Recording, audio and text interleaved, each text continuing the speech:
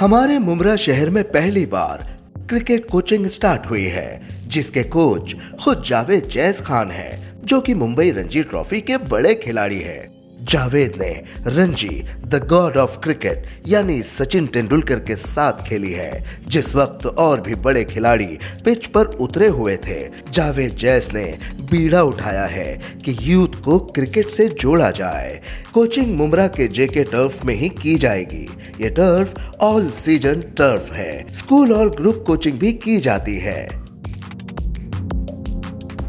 मैं इस्लामुद्दीन खान और आप देख रहे हैं प्रहार टाइम्स। मुमरा के अमृत नगर दरगाह रोड पर अब सीसीटीवी कैमरे लग चुके हैं। एक नहीं, दो नहीं, बल्कि 50 कैमरे रोड और गलियों में लगाए गए हैं।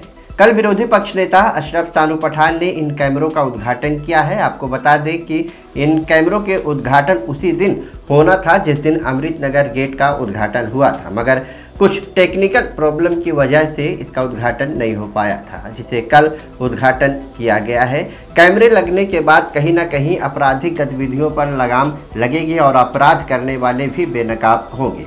शानू पठान ने बताया है कि अक्सर लोग कैमरे के वायर काट देते हैं ताकि कैमरे बंद हो जाएँ और वो अपराध को अंजाम दे सकें। मगर वहाँ जो कैमरे लगाए गए हैं, अगर कोई भी इनका वायर काट देगा तो ये ऑटोमेटिक वाईफाई से कनेक्ट हो जाएँगे।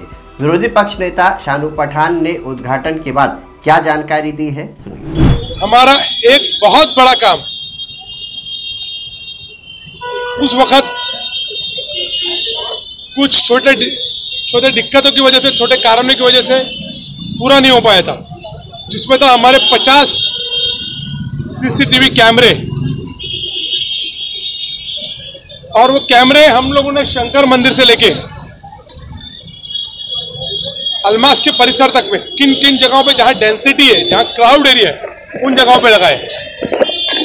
आप देख सकते हैं मेरे पीछे। इस जगह के ऊपर, इस जगह पे 17 कैमरे लगभग इसी परिसर में लगाए लेटेस्ट टेक्नोलॉजी के। ऐसे ही कई कैमरे रईस बाग रोड पे लगाए। उसके बाद कैमरे खड़ी मशीन की तरफ़ लगाए। उसके बाद कैमरे पाइप कंपाउंड में दादा के, दादी कॉलोनी ज्योति बिल्डिंग के पास लगाए। ऐसे बहुत जगह कैमरे लगाए। और कई कैमरे गोपनीय ये जो दिक्कत हुई थी, कुछ शरारत करने वाले लोग वायर काट देते थे।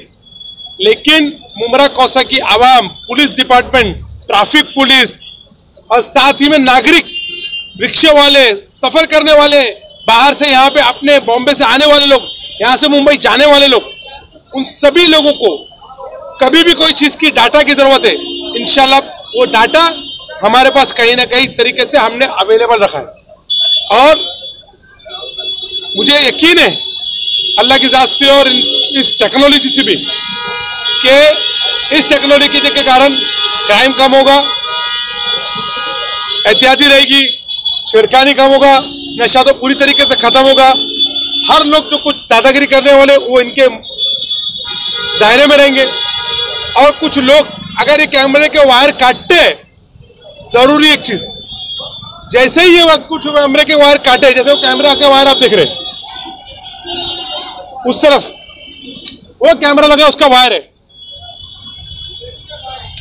उस कैमरे का वायर किसी ने काटा तो वो उनमें से एक कैमरे का जो कनेक्शन है, वो वाईफाई पे, फट से वो वाईफाई कनेक्ट हो जाएगा। मतलब जो काट रहा है वो भी उसमें आ जाएगा। तो हमने उस पूरी, क्योंकि जिस तरीके से टेक्नोलॉजी आई है, उस तरीके से लोग भी चतुर हो गए तो उनका भी खास ध्यान रखना पड़ता है। लेकिन इस परिसर के लोगों के साथ, हमारे शहरवासियों के साथ, बहुत अच्छी ये पहल है। आप लोग की आप लोगों तक ये ज़रूर सूचना इसलिए पहुँचा रहे कि कभी भी कोई दिक्कत हो तो आप हमसे संपर्क कर सकते हमारे कार्यालय में, मेरे कार्यालय में आ सकते हैं, आपको इंशाल्लाह डाटा मिलेगा। और आधी रात को भी यहाँ पे कोई चीज़ के लिए आपको डिटेल चाहिए तो वो डाटा के ज़रिए आप तक पहुँच जाएगी। ये सारे कैमरे के माध्यम से अगर कुछ रहा तो हमने पुलिस डिपार्टमेंट को भी इससे सतर्क किया है। तो इतना ही कह के अपने दो शब्द पूरा करता हूँ। हमेशा दुआओं में याद रखना, ऐसी दुआ करना कि इससे ज़्यादा इस शहर वासियों के लिए, हमारे मुमरा के लिए, मुमरा कौसा के लिए अल्लाह ताला हमसे काम ले सके। हमारी टीम हमारे साथी, हम सभी लोग मिलके इस शहर के लिए काम कर सके। खुदा हाफिज। जय हिंद। जय महाराष्ट्र।